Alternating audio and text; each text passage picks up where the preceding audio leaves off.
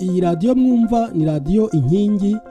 Inkingi y'amahoro ijwi riharanira ukwishyira ukizana kwa buri munyarwanda. Abakunzi ba radiyo inkingi ndabasuhuje nk'uko mubimenyereye rero rimwe na rimwe iyo tubonye akanya mpamagara kayumba rugema. Kayumba rugema ni umusesenguzi wa politiki nkamubaza kudusengurira amakuru aba amaze iminsi avugwa mu karere. Kayumba rugema wiriwe?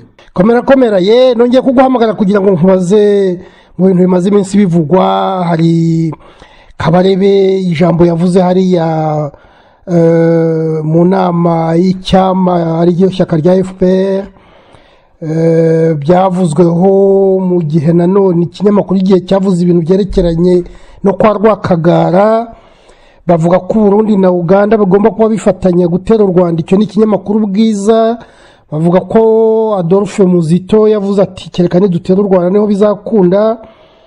Bagarutse kuri mateke.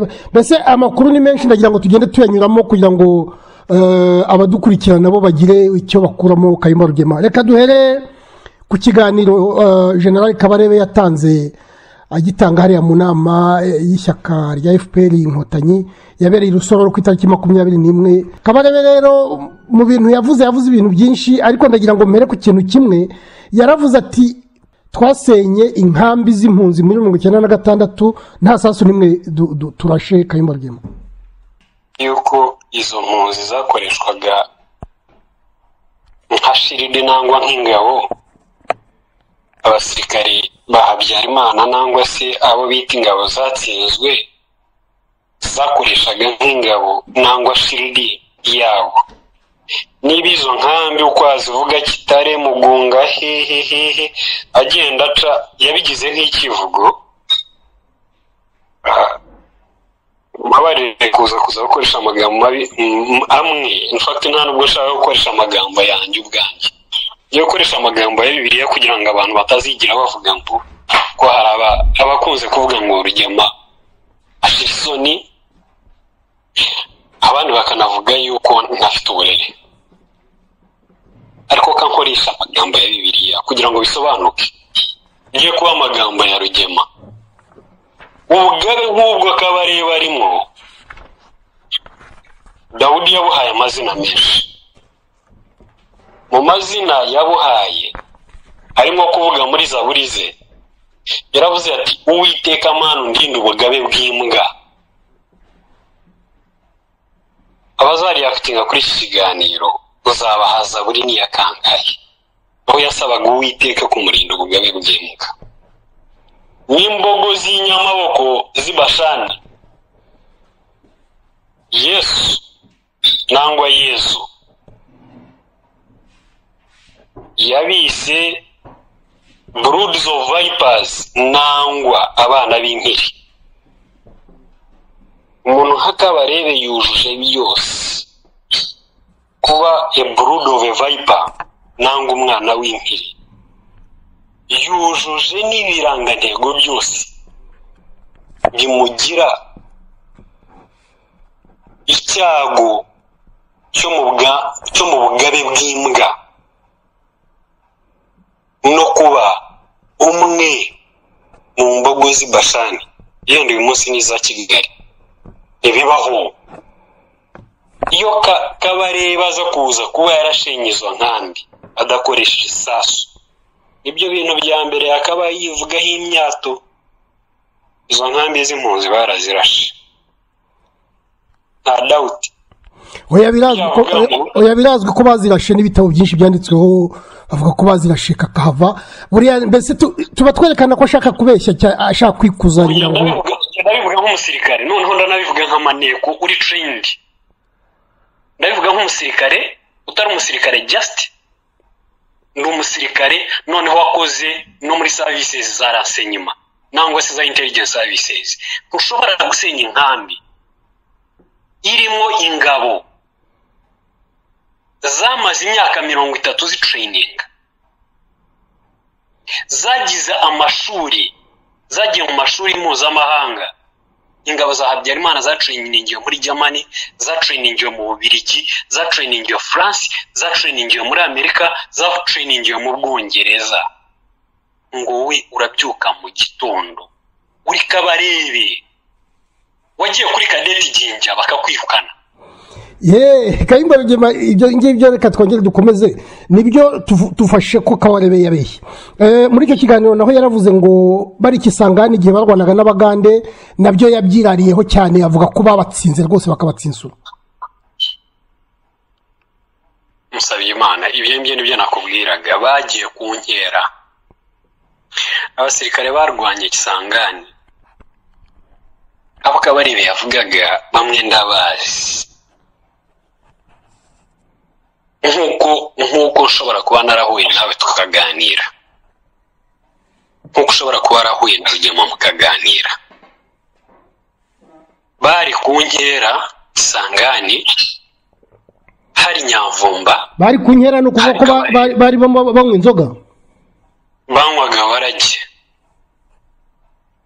kabarebe nyamvumba bari bari kumwe na kazini na bagenzi babo harimo uwo bita kiyingi yaguye yaguye muri urwo rugamba. Baranyoye barasinda bamaze gusinda bacyurira kabarebe uko yatsinzwe ku kadeti ginge kadeti ni iryo shuri ry'abasirikare bakuru. Kade- kadeti kadeti wayigereranya na esemu ya, ya yo kwa habyarimana. Ariko kwa habyarimana ya mu- muri esemu uko byagendaga bafataga abayimanisiti nangwa abantu barangije umwaka wa gatandatu wa segonderi bakajya muri esemu ikiba kuri kadeti mu bihugu bikoresha icyongereza za tanzania za kenya za uganda eh, ngira ngo no mu bwongereza bafata abantu barangije university cyangwa se bafite capacity yo kuba bajya kuri university. Mu bintu byo biga biga biga management y'igisirikare. Nangwa se ibyo bita strategic management. Bakiga uko ushobora bakiga logistics za gisirikare. Bakiga administration yose ya gisirikare. Muri icyo gihe kingana n'umwaka. Baba bashobora kujyanayo abo bita senior NCOs senior NCOs ni nk'aba ngaba bajya muri ESO yabaga i Butare ishuri ryabaga i Butare eee rya ba ofisiye ariko noneho bajyanayo ahangaha abantu bamaze igihe bari siniya bari supiriyeri mu gisirikare. Abo ngabo nibo bajyana kuri kadeti. Mbese twafata ko kadeti ijyamo abantu bize iniverisite bakajyayo umwaka umwe bakiga ibintu bikeya cyangwa se abantu barambye mu gisirikare bamaze nk'imyaka n'imyaka yes ariko ari ba biga ofisiye. Yes. Okay. Ba- mbega bagiye kujya kwiga ibintu bya gestiyo ya gisirikare n'ukuntu bazayobora ingabo. Reka dukomeze rero. None kabarebe kuri ibyo bya so kabarebe rero kabarebe rero yahuye na na na n'umugabo wapfuye wo bitaga wo bitaga kazini. Bari kumwe na kingi. Bari kumwe na ntabwo nibuka abandi basirikare. Nangwa reka ndeke no kubavuga amazina yabo. Yewe wari uvuze na nyamvumba? Na nyamvumba kuri sayidi y'u rwanda. Baraganira basize baranywa barasinda. Noneho batangira gucyurirana. Ndavuga ariko we kabarebe waratsinzwe ntabwo ufite kapasiti yo kuba unayobora. Kandi koko kabarebe nta kapasiti yari afite. Yagiye muri kadeti aratsindwa rya ruweru kabarebe asigara asigara i kampara kwa bashiki ba kayumba. Wari wamutoraguye za kibondo. Nyamvumba bamucyuriraga yuko yari esikoti yari sajenti aba bahungu bamaze kwijuta warage badukira bagenzi babo basindanye. Mu mico y'abantu bakuriye uganda abantu baba bashobora kuganira.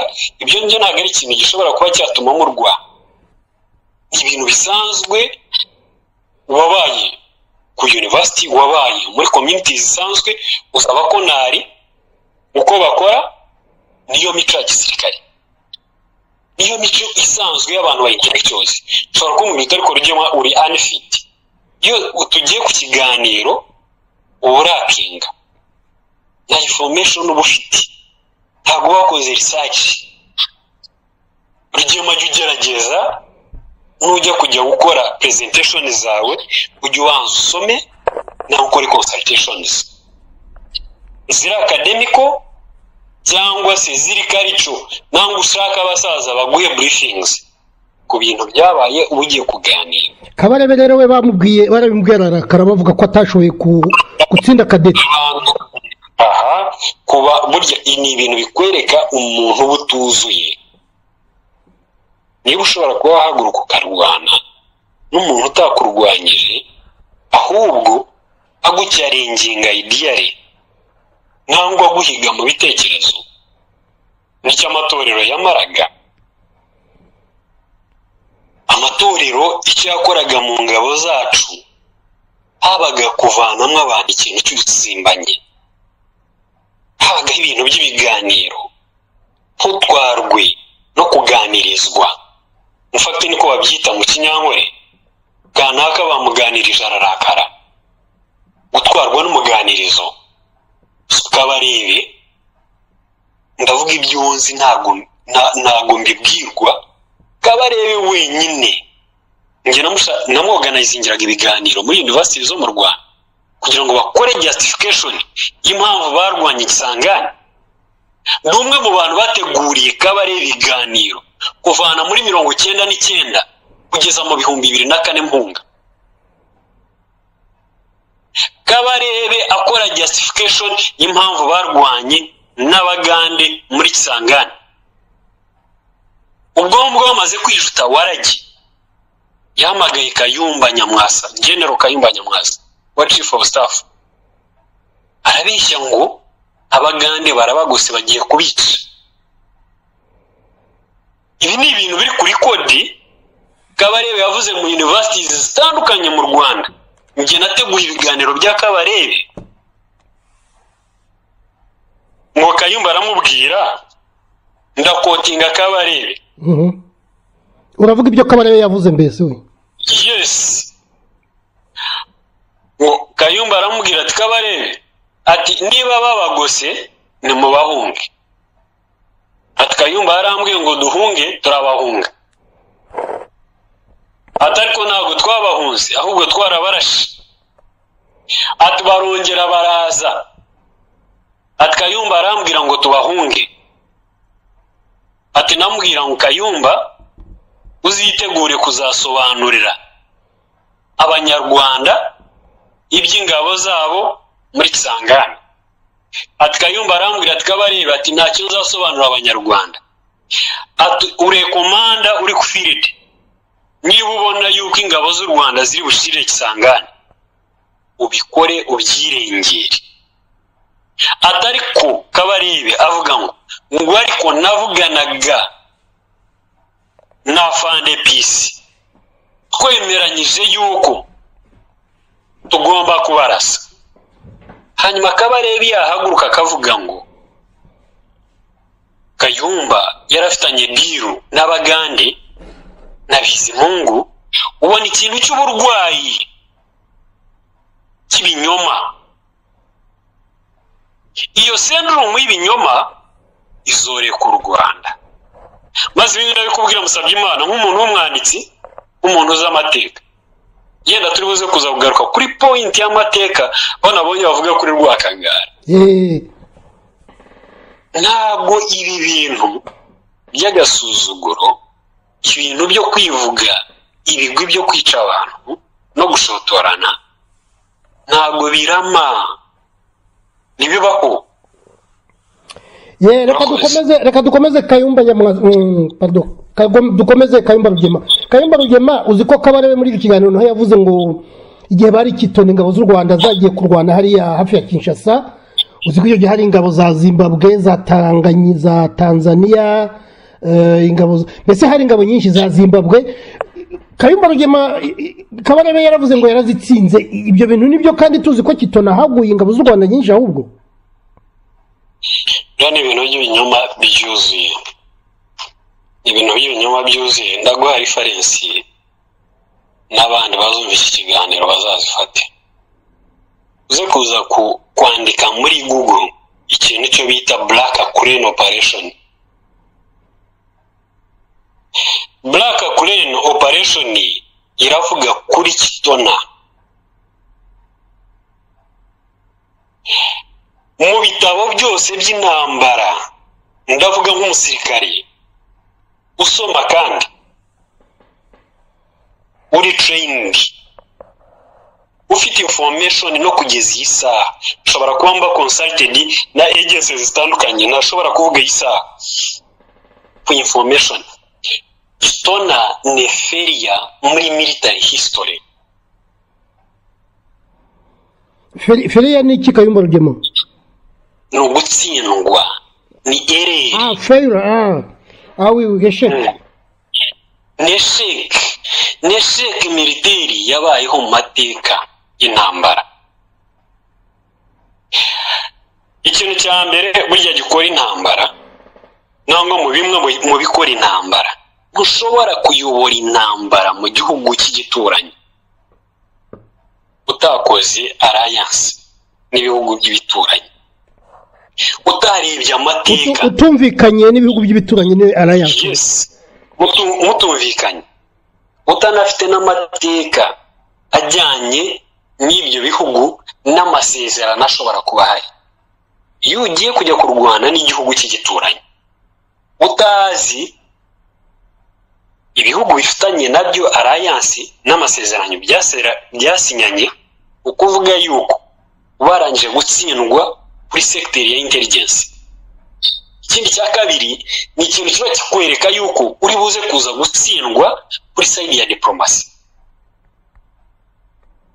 of course iyo ugiye kujya gutsindwa kuri izo kote zombi na strategically uba warangije gutsindwa. Rero ukaba arebe nk'umuntu watsinzwe kadeti jinja yagombaga kugira n'iyo esheke ya kitona. Biranditse wowe uzafata umwanya wisomere black crane operation. Irakwereka neza ukuntu kabarebe n'abagaba b'ingabo b'u rwanda icyo gihe bari feriyazi iri regisitadi ariko ikintu cyonse. Umuntu patrick karegeya umuntu kayumba nyamwasa. Banze gufata ingabo z'u rwanda ukazivana i kigali ukazijyana kitona ahantu hari ibirometero birenze ibihumbi bitatu. Baravugaga bati abasirikare tujye kujugunya aha hantu. Ntabwo turi bubashe kubona ukuntu turi buze kuza gukora intervention. Mbese kujya kuba- kujya kubatabara bibaye ngombwa? Yes. Nta kuntu twabatabara. Ndavuga ibintu byose nasomaga message books zatangwaga. Ikindi cya kabiri nabaga aho indege z'u rwanda z'igisirikare zajyanaga abasirikare bari bari. Noneho ntari muri no muri segiteri ya intelligence. Ibintu ndabizi neza cyane. Iyo ni sheke kabarebe rero ibi ngibi byarimo. Habaho ibintu byo bita kwisingiza nangwa se praisings nangwa kwiramya. Kayumba rugema bavuga ko ikitona haguyeyo abasirikare b'u rwanda bashobora kuba bagera ku bihumbi bitanu. Bararenga kubera ko hagiye kitona ngira ngo hagiye ingabo zageraga mu bihumbi cumi na kimwe. Zose nta n'imwe bari yagarutse. bake cyane. Nta n'imwe yagarutse ze? Ish, ndakubwira ngo njye nari ndi- i kanombe nari ndi mu bantu bakiraga abo basirikare izi ntumbi zakiri uko zanganaga izi nkomere zakiri uko zanganaga izi ibibazo byari biri muri muri iyo sayidi ya kitona. Izi nakabarebaza muri kondishoni zo yaje arimo. Yaje wenyine yarabuze.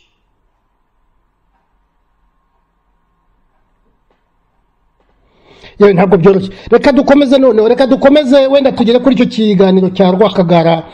Iyo ni inkuru yasohotse mu gihe eh, mu matariki ya cumi na kabiri z'ukwezi kwa cumi na kabiri ndetse zisohoka no ku itariki ya cumi na gatanu.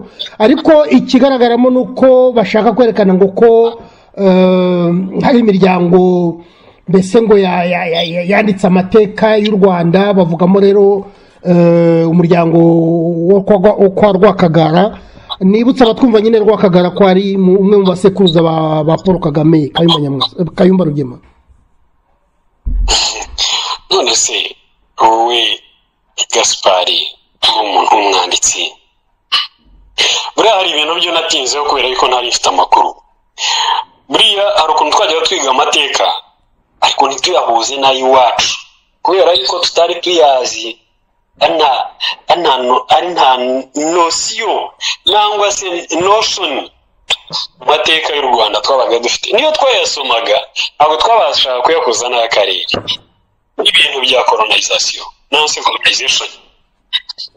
Maze ejo bundi ngira ngo wenda n'imana yabi- yabinkoreye ntabyiteguye hari umugabo njya nsoma muri bibiliya nawe se twese dusoma muri bibiliya wo bita daniyeli yavuze ngo ntari nasoma amateka ntari nasoma ibyasize byanditswe na yeremiya. Ntabwo nigeze mbasha gusengera israel maze ntari nabasha gusoma iby'amateka ya rwabugiri n'uko yabanye na karagwe. N'ukuntu musinga yaguye ishyanga ntabwo nari nakabashije kumenya ikintu cyatumye revolution yo muri mirongo itandatu na rimwe yabayeho. Noneho ugasanga muri iyi revolution hari harimo abana b'abanyiginya abo mu nda ya gahindiro. Bari bafatanyije n'abahutu n'abitwaga abahutu. Abo ni bande? Muri aba abatabizi baravuga ngo habaye iki? Ariko kuri kurahari. Maze ka nkubwire ibintu bya- ibintu ibintu byo kuvuga inda ya rwakagara. Inda ya rwakagara ntushobora kuvuga inda ya rwakagara. Ngo wibagirwe umukecuru w'umuhemu wicaga buri umwe wese. Nyina wa rwogera muronkwere Hmm? Ah, ntabwo ari muronkwere ni nyina wa rwogera bamwitaga bamwitaga nyiramavugo bamwitaga nyiramavugo nyiramavugo ubona ibya ibikorwa bya nyiramavugo n'umugaragu we w'umutwa wo bitaga bizuru. Ajyanye umwe mu biru agiye kumu- kumuroha amakorwa ya nyiramavugo ntabwo yavugwaga.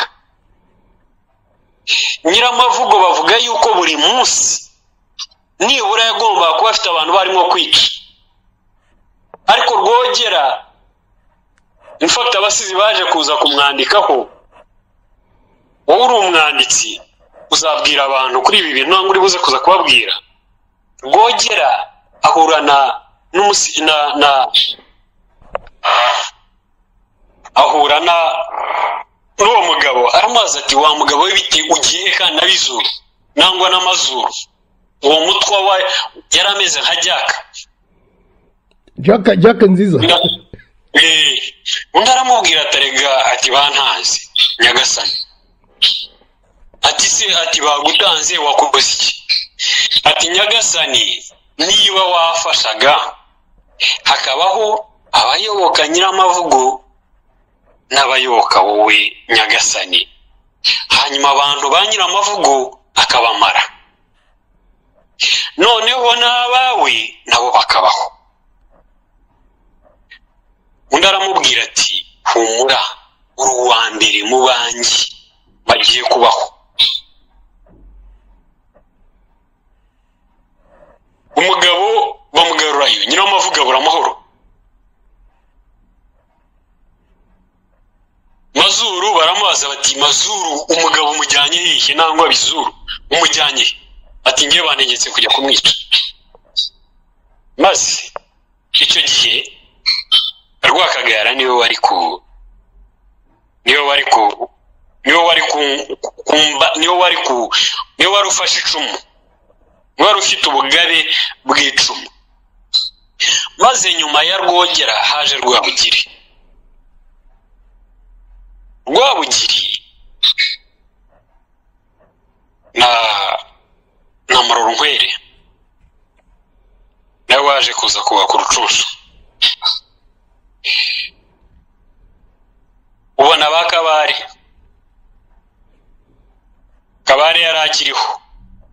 Ubona ba ruhinankiko maze ibintu byakorewe aha hantu. Ntabwo ari ibintu byo kwivugwamo byo kuvugwamo ibigwi.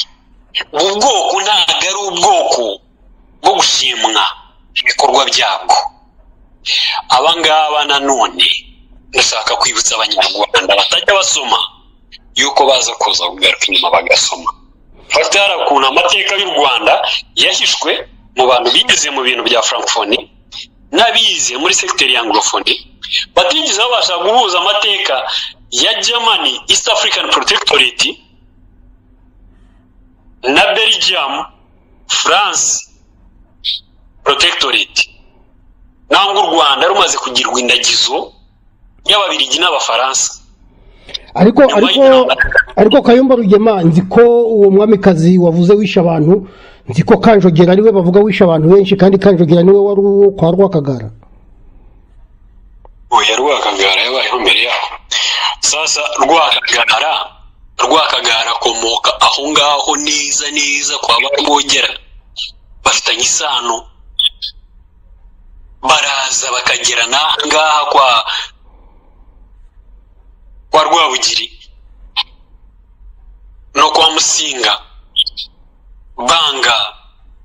Rutarindwa maze aba ngaba basaza. Be nibo bari banasanzwe banafitanye kontakiti n'abadage. Ibyo ubona by'ingabo za musinga z'indugaruga bikomoka kuri rugaruga forces. Zabaga tabora zabaga mu bwoko bw'abanyamwezi aba banyamwezi n'abahehe n'abahaya ni abantu bashyingiranaga n'u rwanda nangwa u rwanda rwatangagayo abageni aya ni amateka yanditse ari documented. Abantu bose bashobora kwisomera bakareba. Rugaruga forces zaje kuza kuvamo indugaruga za musinga. Zari ingabo zagombaga kwishyushonarayizinga germany rube mu rwanda. Ubwo abantu babonaga ingabo za rwabugiri zayogoje akarere. Ni nk'uko mirambo ni nk'uko mugarura ni nk'uko abandi bayobozi b'abanyamwezi babaye intakoreka muri ako karere ka tabora. Mu gihe cy'abadage no mu gihe cya escaravaje cyangwa slave trade. Mbese kayumba rugema twavuga ko kugira ngo igihe cyandike iriya nkuru ni muri ibi bintu bakora byo kugurika amateka? Mu bintu byo kugurika amateka noneho n'ikindi ikindi musabye imana ikintu cy'abantu badakwiriye kwirengagiza. Kagame ari piwa ni piwa ejenti ni piwa ejenti w'abazungu nk'uko ba sekuruza ba rwakagara babikoraga. Ni igikoresho cy'abazungu mbese ni cyo ushobora kuvuga. Sana akana amateka arabifite niyo mpamvu ndimo kubwira indugaruga nkubwira rugaruga forces. Kuko musinga nawe yagezeho igikoresho cy'abadage n'ibyo rugaruga wandike ni ibintu byanditse ni amateka yanditse. Indugaruga na rugaruga. Ni na byo biriho uyu munsi. Ni na byo biriho uyu munsi birimo gukorwa. Ibyo musinga atabashije gukora cya gihe ifati yaba na musinga musinga yabaye umugabo ahantu aho yari umwana aho yabashije kubera umugabo bimwe yarabyanze. Ariko ndakubwiza ukuri yuko kagame ari tipiko ejenti ofu koloniyolisi akorera abampatse ibihugu reka dukomeze noneho ikinyamakuru igihe nyine bavuga ko gikorera inzego z'ubutasi z'u rwanda ndetse kikaba kivuga ari umuyoboro w'ibitekerezo bitameze neza bya leta. Cyaranditse kikoma amateke filomeno mateke ni umusaza rwose wamaze igihe mu butegetsi ubu ngubu nawe ni minisitiri. Bavuga ngo ko ari we utuma mu karere hataba umutekano mbese ko ari we utuma mu rwanda ngo u rwanda rugira umutekano rugira umubano mubi n'ubugande kayumba rugema. Buriya mm, musabye imana mukuru wanjye ikintu nakubwira igihugu kitagira amahoro ntabwo gishobora gutanga amahoro. Igiti kitera imbuto ntushobora kukivanaho imbuto zo wegispekitingi ni ukuvuga ngo imbuto mbi. Ntushobora kuyikuramo imbuto nziza. Museveni yafashije kagame amugabira igihugu yanga kubyakira. Yanga kwakira yuko amugabiye umusaza nka mateke ni umuntu warwanyije museveni ariko museveni yaramwakiriye. Abona yuko mateke yatsinzwe yemera yuko mateke yatsinzwe yamuyobotse. Aravuga ati mateke ntuzapfe. Akira ngo ukamike ariko kagame kubera ubugome n'ubutindi abona yuko ntabwo yumvaga yuko mateke akwiriye kubaho. Niyo mpamvu yumva yuko mateke ashobora kuba arwanya kagame. Cyangwa se museveni guha umwanya mateke mu buyobozi kugira ngo abashe kubaho. Mu myaka ya mateke yo kwicwa na depression nangwa ye gusaza nubwo ashaje mu myaka ye nibura akomeze abe agira ibimuvugisha abashe gutanga amateka murimo experience murimo igihugu kibashe kuyatapinga kibashe kuyafata kigira icyo cyakoresha kagame ibyo ngibyo ni byo bimurya. Oya amateke ni umuntu wakomeye cyane. Nzi ko ah, mu myaka ya kera tukiri mu rwanda nzi ko yari minisitiri w'uburezi yabaye na manzi yarigeze no kuba ambasaderi. Ni umuntu rero ukomeye kandi nibutse abatwumva ko atuye hariya hafi y'u rwanda za kisoro hafi aho ngaho. Mateke mateke ni umuntu twese twavutse twumva amateke twese twavutse twakuze tubona amateke mateke afite amateka. Museveni kuba atarishe amateke kagame ashaka yuko amateke yenda yakabaye yarapfuye kuko yari ari muri upc ntabwo museveni upc yari yawubute kugira ngo abatwumva bakurikire? Ntago ntago museveni akorera mu nzigo ntago akorera mu gukora. Ni umugabo ufite irima zo kubabarira. Ni umuntu ukorera muri irima zo kwihangana no kwihanganirana. Ni umuntu ukorera muri irima zo kubabarira. Ni umuntu ukorera muri irima z'ubumwe bw'igihugu. Gisoro mpereye kuri ayo mateka binavugaga ni igice cyari cyahawe kongo mu mwaka w'igihumbi kimwe magana cyenda na cumi. Ni igice cyagaruwe ku uganda mu gihumbi kimwe magana cyenda na cumi cyari cyarashyizwe kuri kongo ibi bintu museveni yaba abikora ababikora ku rwego ruri strategic noneho abanabikora ku rwego ruri human nta kintu mateke apfa na kagame. Ariko se kagame utumvikana n'abo babyirukanye. Kagame uzica abo babyirukanye. Kagame uhiga impunzi. N'impunzi zirwaye amavunja n'abana barwaye bwacya mu mashyamba ya kongo akabita inyeshyamba. Ntashware. Wumva yareka amateke. Ye twarabonye ejo bundi baravuga ngo bafashe abantu b'abarwanyi harimo abana b'impinja harimo abasaza. Iyo ngingo tuzayigarukaho ikindi gihe. Reka reka wenda turangirize kuri ibyo bya bya uganda no mu karere. Eh, ikinyamakuru bwiza cyanditse ku uganda n'uburundi ngo birimo bishaka gutera u rwanda cyabyanditse n'ubundi ejo bundi kuri makumyabiri na kane cyabyanditse eh, kuri makumyabiri na kane. Hanyuma ndetse n'ikinyamakuru igihe na cyo kivuga ko adolphe muzito wahoze ari minisitiri w'intebe wa, wa kongo hariya muri zayire ngo ya- yavuze ko kugira ngo kongo izagira amahoro ari uko kongo yatera u rwanda ikarwigarurira ndagira ngo na byo ugire icyo ubivugaho mu minota mikeya kayumba. None se musabye imana ibi byose ntitwavuze yuko kagame byanze bikunze agomba ku- kurwana n'akarere. Nangwa akarere nako gashobora kurwana na kagame. Ntabwo narizi ntabwo twari tuzi ibyo muzitazavuga uyu munsi. Igihe twavugaga yuko kagame azahura n'ibibazo by'akarere. Uyu munsi nyuma y'igihe kinini tumaze kuvuga ku bintu bya kagame n'uko akarere kazamuhagurukira muzito nguyu yaravuze. Maze nahoze ndeba ntuza inyandiko ya fayuru